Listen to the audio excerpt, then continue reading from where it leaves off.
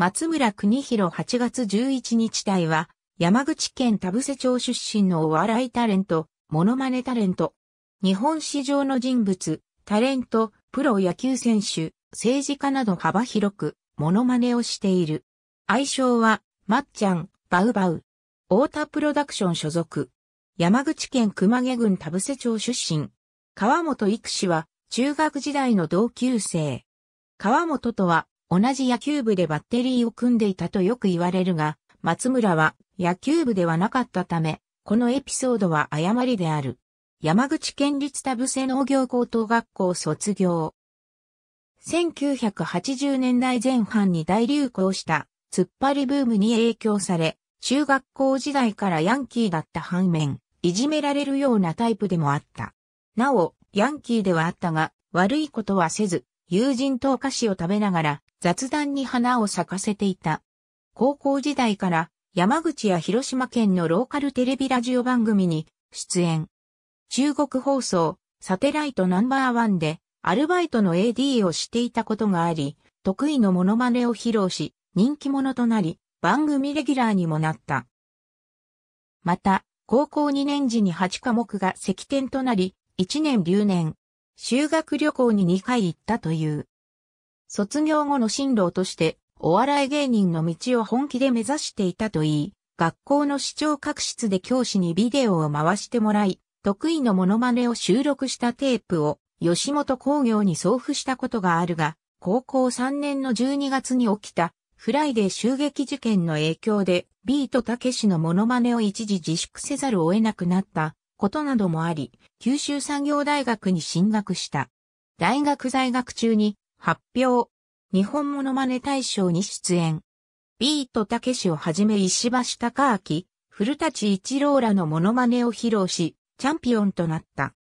その後、テレビ西日本でケーブルさばきのアルバイトをしていた当時、番組に出演した松村のネタを見ていた片岡鶴太郎が FNS スーパースペシャル1億人のテレビ夢列島の中継で同局を訪れ、鶴太郎に、君いいよ、面白いよと見出されたことがきっかけで、1988年に大学を中退し上京した。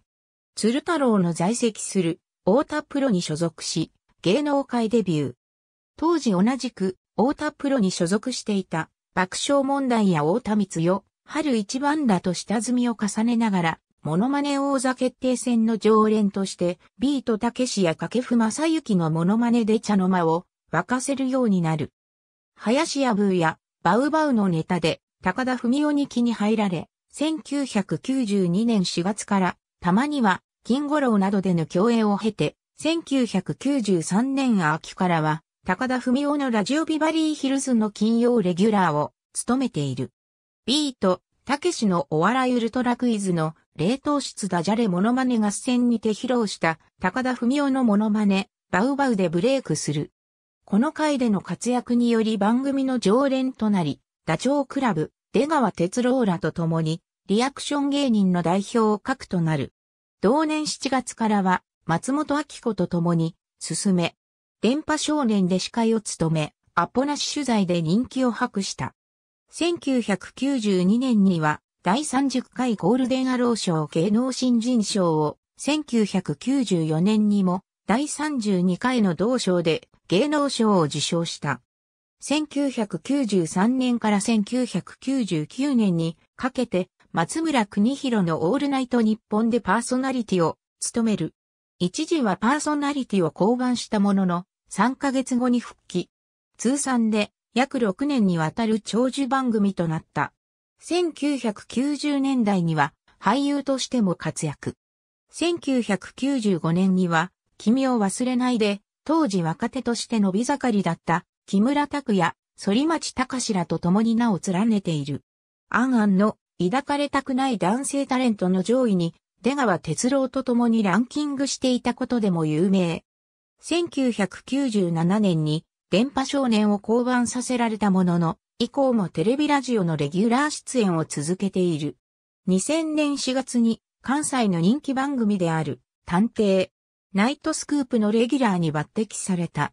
探偵抜擢の1年後には自身がモノマネ対象にしている西田敏行が二代目局長に就任し、共演することになった。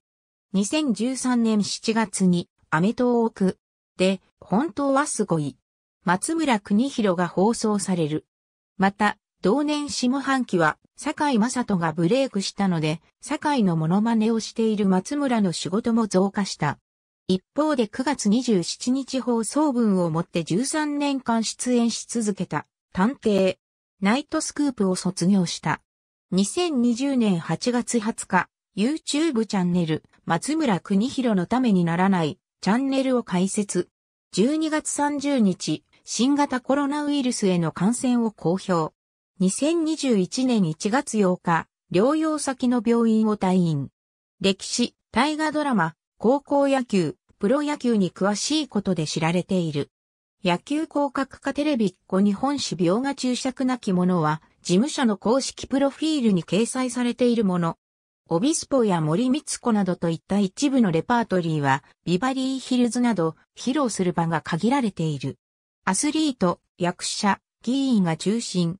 レパートリーは約150。ありがとうございます。